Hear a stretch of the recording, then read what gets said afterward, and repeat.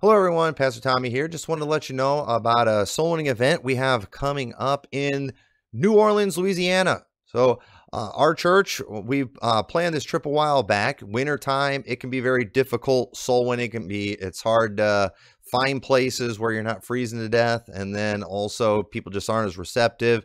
And, you know, and in up here in Illinois, we just kind of get tired of the winter and we and so we wanted to start the year off strong with seeing souls saved and so we decided we would plan a trip somewhere warm for the month of February and so we planned a trip to the New Orleans area. We're going to go help Pastor Majors church and he's a pastor of the Faith Baptist Church in Violet Louisiana and so we're excited about it and several families from our church are going but if you would like to uh, participate in any of the events we would love to have you uh, we're going to be meeting at different places every day in New Orleans. It's going to be February 20th through the 22nd, uh, Tuesday, Wednesday, and Thursday.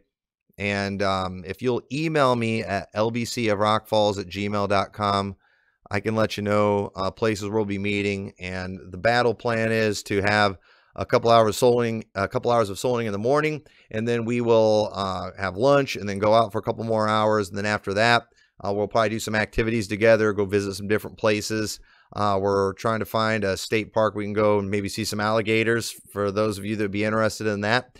But we're uh, real excited about it. On Wednesday, uh, we'll all be going to Pastor Major's church, and I'll be preaching there that night. So if you'd like to just come out for the church service, that will be at 7 o'clock on Wednesday, the 21st.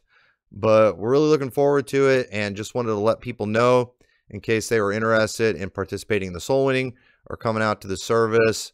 Uh, would love to see you there. So just wanted to get the word out. So email me if you're planning on coming. So God bless you and hope to see you then.